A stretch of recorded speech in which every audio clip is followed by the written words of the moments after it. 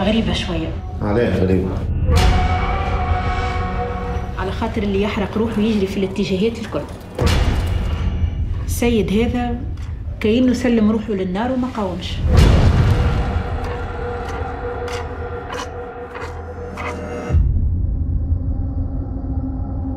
انت عليه ما علمتنيش من الأول.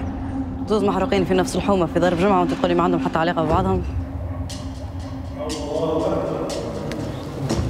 والراجل اللي معاه تقولش عليه يعدي لها في النار. بيد. مش تسمى شعوذه يمشي للجيلاني يقول له فما مشعوذ ولا سحار يعدي في النار بيديه للناس.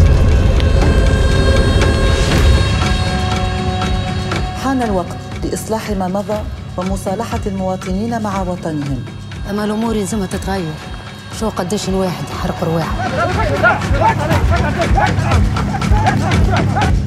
لوجوا على واحد مختل عقليا يحرق في العباد؟ ماهوش يحرق فيهم بيديه يحرض فيهم باش يحرقوا الواحد